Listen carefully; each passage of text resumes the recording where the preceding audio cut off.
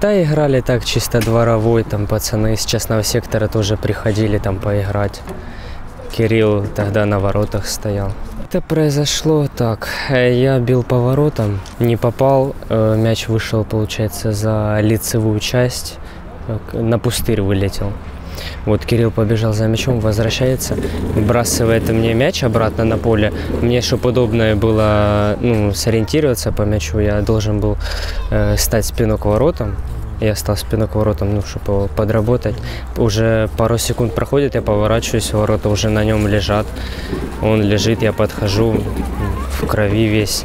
Тогда охранник еще с нами стоял. У него тогда при себе не было телефона. Я побежал в комнату охраны, чтобы вызвать скорую помощь. Но в итоге через пять минут уже подъехала скорая. Все равно этого было не- недо- недостаточно, так сказать, чтобы спасти жизнь. Я знаком с ним уже два года. Парень, обычный парень, веселый, улыбчивый был. Да, все, что не попросишь, что там тоже по поводу футбола, там мяч подкачать, там все сделает, все сделает.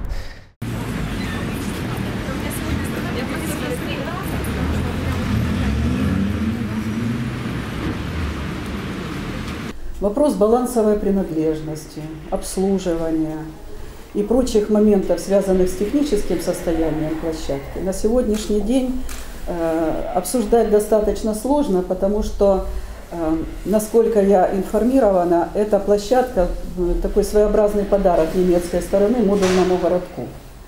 Э, Поэтому э, будет техническая экспертиза, буд- будут проверяться документы, которые сопровождают эту площадку. Подрядчик, который делал эту площадку, это киевская фирма, потому что немецкая сторона старается работать ну, со своими подрядчиками, которым она доверяет. Правильно или неправильно стояли ворота, должны они быть закреплены или не должны быть закреплены. На эти вопросы ответит техническая экспертиза и следствие, которое, вы знаете, будет вестись по этому несчастному случаю. А что касается площадки, я думаю, что э, и вам нужно набраться терпения, и я должна иметь корректную информацию, чтобы отвечать за свои слова после того, как будут проведены соответствующие следственные там, эксперименты, э, анализ документов юридических и прочих моментов, которые э, смогут сформулировать со стороны следствия э, отношение к этой площадке. А что касается семьи, то это многодетная семья, в ней трое деток. Она в Харьков прибыла еще до открытия модульного городка и записалась к нам в очередь, когда мы собирали сведения о тех семьях, которые нуждаются э, в поселении модульный городок. Семья живет в модульном городке с октября 2015 года. В семье трое детей. Этот мальчик старший, ему 13 лет. Э, Семья проживает в двухкомнатном модуле, то есть с точки зрения условий, условия у семьи благополучные, сама семья благополучная. Там двое младших деток, мальчику 13 лет. Они играли в футбол на этой площадке. Насколько я знаю по разговорам, вчерашним разговорам, которые были вокруг этой площадки, одни ворота, которые там стояли, они уже поломались и их забрали на территорию модульного городка, там варили их, там пытались починить. Остались только вот эти ворота, которые стояли на этой площадке. Взрослые говорят, что они падали, их поднимали, камешками обкладывали и опять играли возле них. Этого делать, конечно, не нужно было, потому что ясно и понятно, если они такие неустойчивые, то лучше детей на эту площадку не пускать. Здесь уже можно говорить об ответственности взрослых перед детьми, потому что за жизнь и здоровье несовершеннолетних детей отвечают прежде всего взрослые и их родители. Это могло случиться где угодно, на любой площадке, которая может быть как-то не так устроена.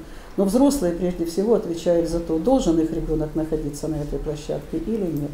К сожалению, находились там дети, играли в футбол. Почему упали эти ворота? Я ответить на этот вопрос не могу, опять-таки на этот вопрос ответит следствие. Вот. То, что случилось, квалифицируется как несчастный случай.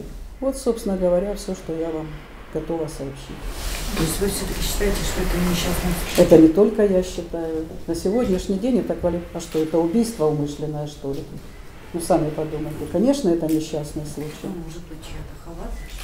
Это, Да, это не уже, знаем, это чья, уже, но- да, это уже не ко мне. Это будут квалифицировать уполномоченные на то органы. На сегодняшний день это квалифицируется как несчастный случай. Во всех организационных мероприятиях, связанных с захоронением этого ребенка, мы обязательно будем участвовать. И уже сейчас есть обращения людей, которые готовы помочь, спрашивают, как это сделать. Я для этого должна связаться с семьей и спросить у них разрешения, могу ли я давать их координаты, можно ли к ним приезжать.